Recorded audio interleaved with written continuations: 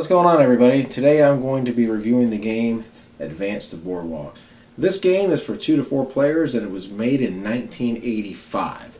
Now uh, this game, even though it has the Monopoly guide and has Advance to Boardwalk the title, this is not a Monopoly type of a game. This is a completely different game. Um, this game has some light strategy in it and this is a game my wife and I enjoy playing. So anyway, let me show you how to play it. I'm going to go ahead and uh, just introduce to you all these uh, pieces and units and what they do, and the board itself. All right, the first thing you're going to notice is you got a boardwalk here, and there's different numbers on it. It ranges from 1 million to 61 million. The object of the game is to be the person to either reach all the way at the end of the boardwalk at 61 million, or be the person that has the most money when all of these uh, units right here have been used up by one of the players. That's how you're going to win the game. Now, basically what's going to happen during this game is you're going to roll these dice, and uh, these dice basically represent millions of dollars here. This dice has four colors on it, uh, and a wild and a fortune card here. And the colors represent these different colors right here. So what's going to happen essentially is you're going to roll these dice, and whatever color you get, along with the money, is going to be the amount of money that you'll be able to spend on these lots. And I'll explain how that works here in just a second. Um, these units are basically what you're going to be using to buy these lots. And um, these right here are what are called fortune cards. Now you can play one of these per turn, and they're rather cool because they have a lot of different things that you can do with them.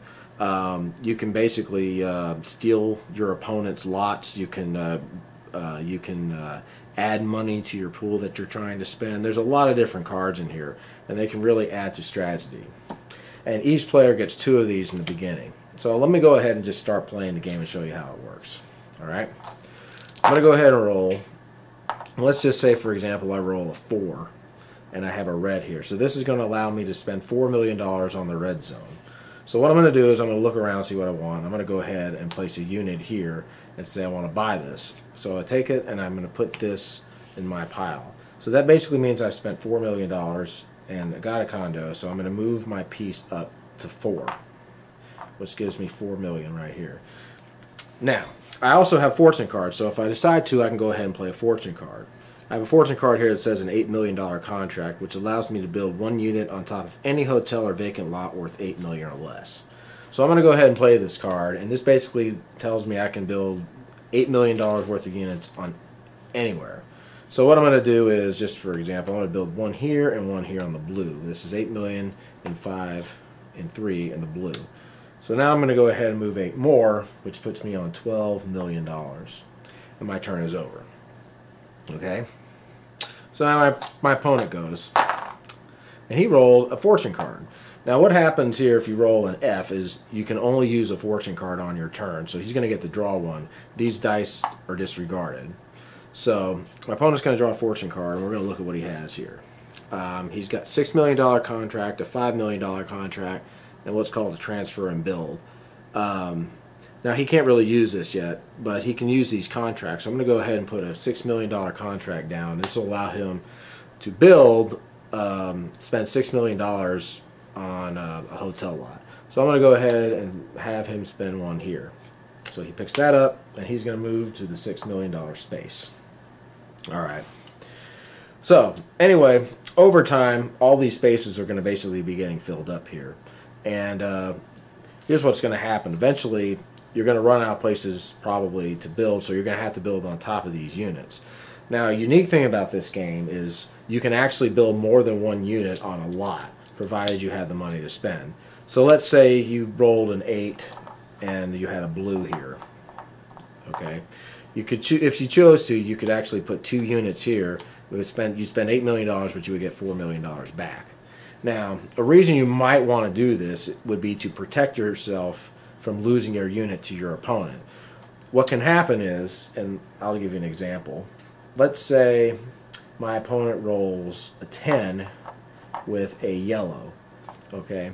Now he can go ahead if he decided to.